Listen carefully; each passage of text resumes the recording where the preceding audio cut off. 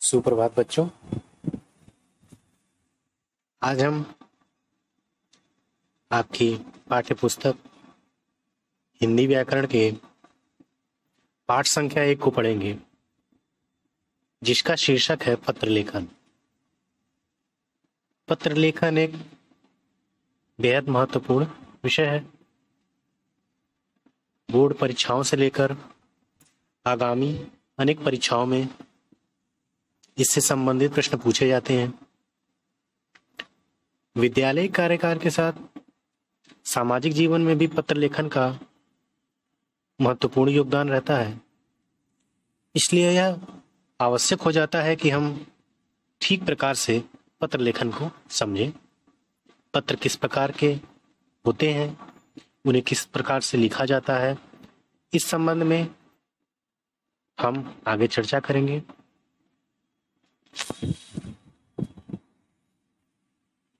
पत्र लेखन दूर रहने वालों, अपने संबंधियों अथवा मित्रों की कुशलता जानने के लिए तथा अपनी कुशलता का समाचार देने के लिए पत्र एक साधन है। इसके अतिरिक्त अन्य कार्यों के लिए भी पत्र लिखे जाते हैं, जैसे कार्यालय के लिए लिखे गए पत्र, किसी कार्य संबंधित लिखे गए पत्र वर्तमान समय में पत्र लेखन का महत्व।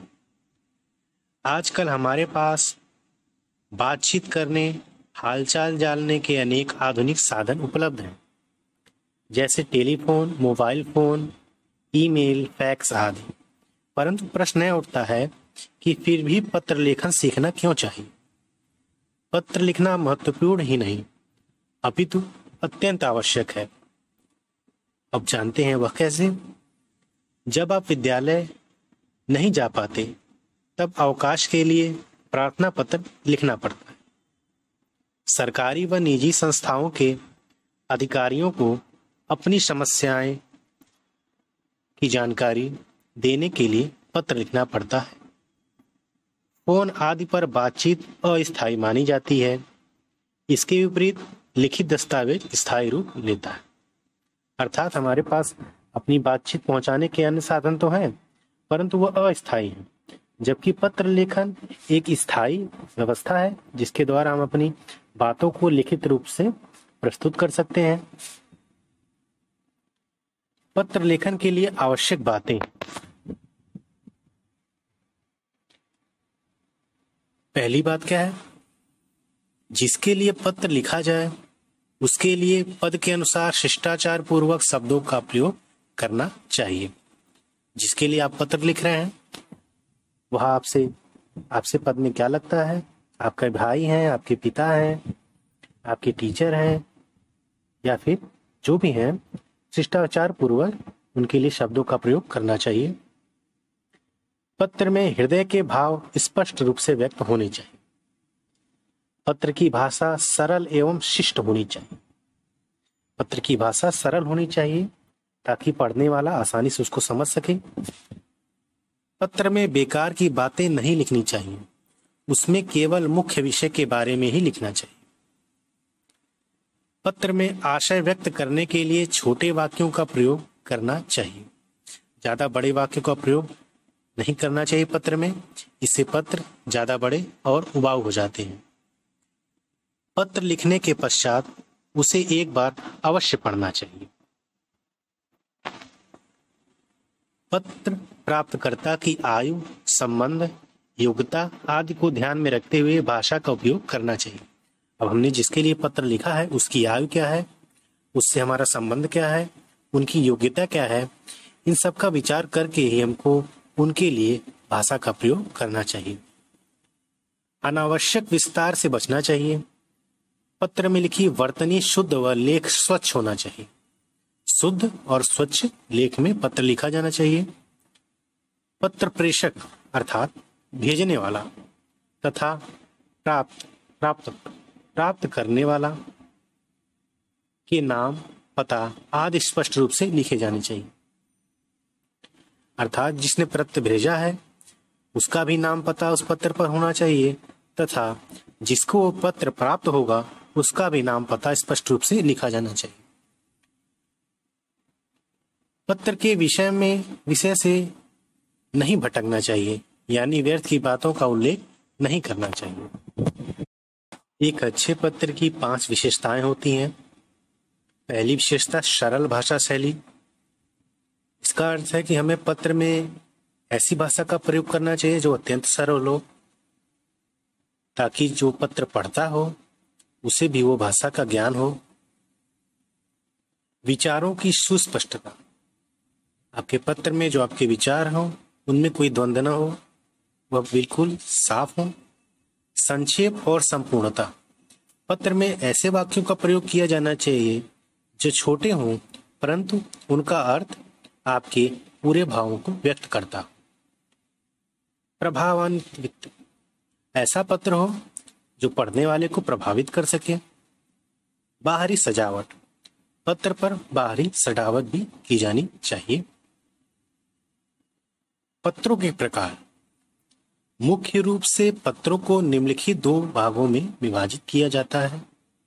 पहला, औपचारिक पत्र। दूसरा, अनौपचारिक पत्र। औपचारिक का अर्थ होता है उपचार। अर्थात, जिन पत्रों में हमको कोई उपचार प्राप्त करना हो, उनके लिए हम औपचारिक पत्र लिखते हैं।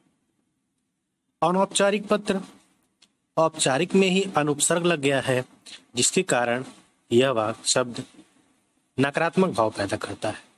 अनौपचारिक मतलब जिसमें हमें कोई उपचार प्राप्त न करना। पहले हम जानेंगे औपचारिक पत्र क्या होता है। औपचारिक पत्रों को तीन वर्गों में विभाजित किया जाता है। पहला प्रार्थना पत्र। जैसा कि हमने जाना, औपचारिक पत्र में किसी प्रकार का उपचार प्राप्त करना होगा तो इसलिए औपचारिक पत्र का प्रयोग किया जाता है। पहला इसका प्रकार है, प्रार्थना पत्र। हमें अगर विद्यालय से अवकाश लेना है, तब हमें औपचारिक पत्र लिखना होगा। किसी की शिकायत करनी है, उसके लिए भी औपचारिक पत्र लिखना होगा। सुधार आवेदन के लिए भी पत्र लिखना होगा, औपचारिक पत्र होगा।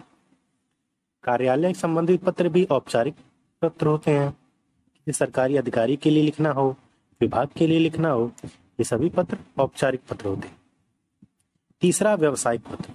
दुकान, प्रकाशन, व्यापारी, कंपनी आदि के लिए लिखे गए पत्र भी औपचारिक पत्र होते हैं। इस प्रकार से समझा जाए तो जिनसे हमारा संबंध ना हो, जिनसे हमारा प्रत्यक्ष संबंध ना हो, उनके लिए लिखे गए पत्रों को औपचारिक पत्र कहते हैं। औपचारिक पत्र लिखते समय ध्यान रखने योग्य बात। औपचारिक पत्र नियमों में बंधे हुए होते हैं, क्योंकि ये उपचार प्राप्त करने के लिए लिखे जाते हैं, इसलिए इनको लिखने में अत्यधिक सावधानी की आवश्यकता होती है। इस प्रकार के पत्रों में नपी तुली भाषा का प्रयोग किया जाता है। इसमें आवश्यक बातों का उल्लेख किया जाता है और अनावश्यक बातों का उल्लेख नहीं किया जाता। पत्र का आरंभ व अंत, प्रभावशाली होना चाहिए। की भाषा सरल, लेख स्पष्ट व सुंदर होना चाहिए। यदि आप कक्षा अथवा परीक्षा भवन से पत्र लिख रहे हैं तो कक्षा अथवा परीक्षा भवन का ही पता उस पर लिखना चाहिए। पत्र पृष्ठ के बाई और हाशिए से साथ मिलाकर लिखना चाहिए। हाशिए का अर्थ होता है अंतिम छोर। पत्र पृष्ठ के बाई ओर से शुरू करना चाहिए और अंतिम छोर से शुरू करना चाहिए। पत्र को एक ही पृष्ठ में लिखा जाना चाहिए ताकि तारतम्यता बनी रहे। औपचारिक पत्र के निम्नलिखित सात अंग होते हैं। इन्हीं अंगों का उपयोग करके आपको एक पत्र लिखना होता है।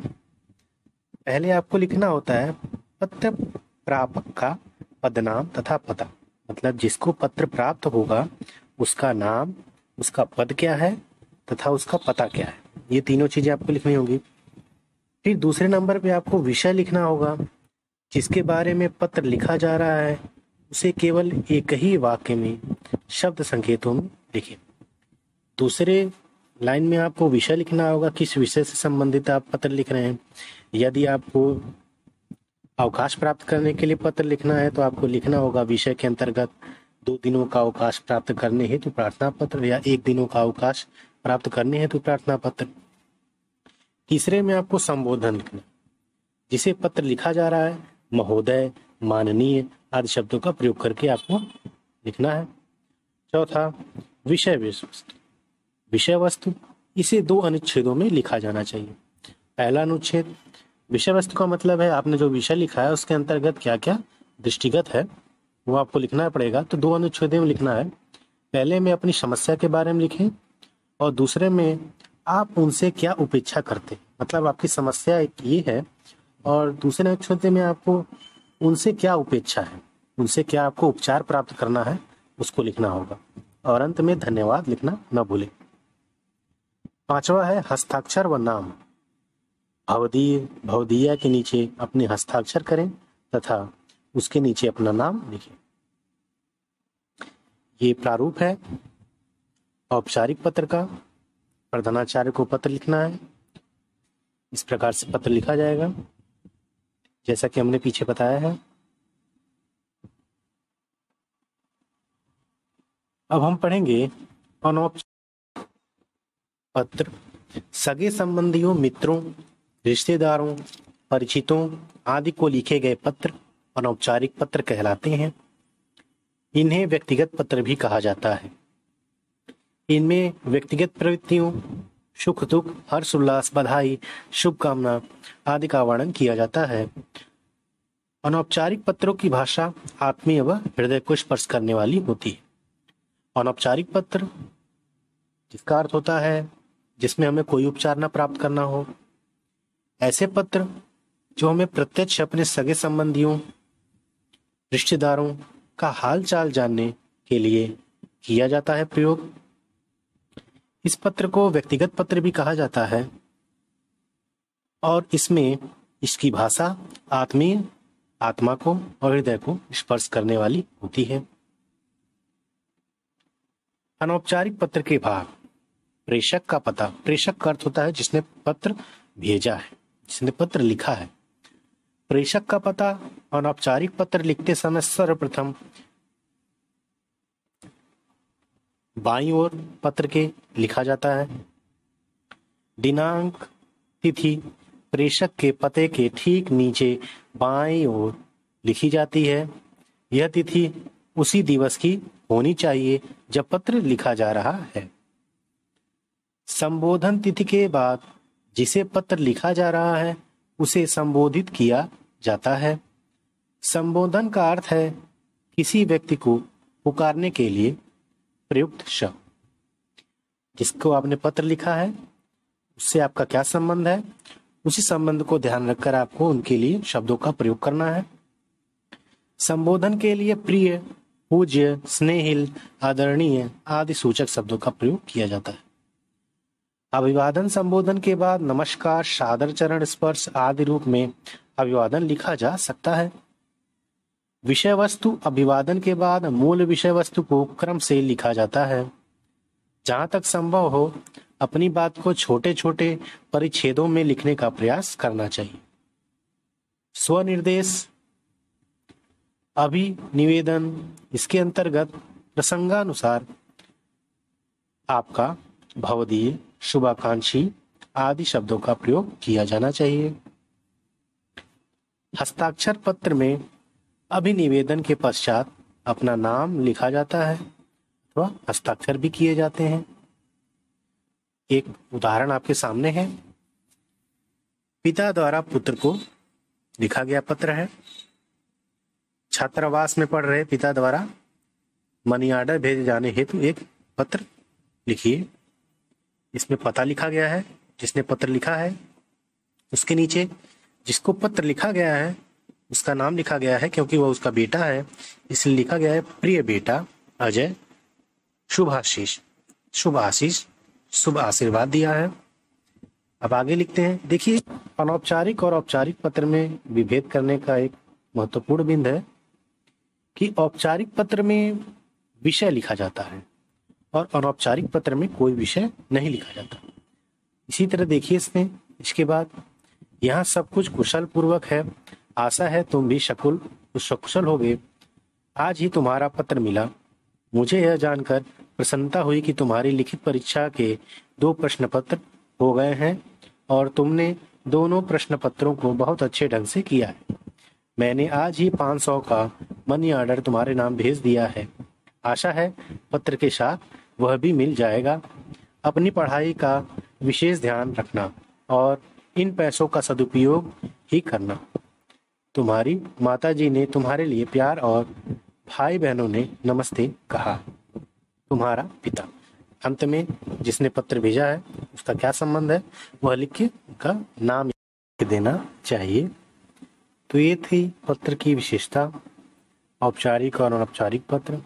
इनमें विभेद करना बेहद आसान है और आवश्यक भी।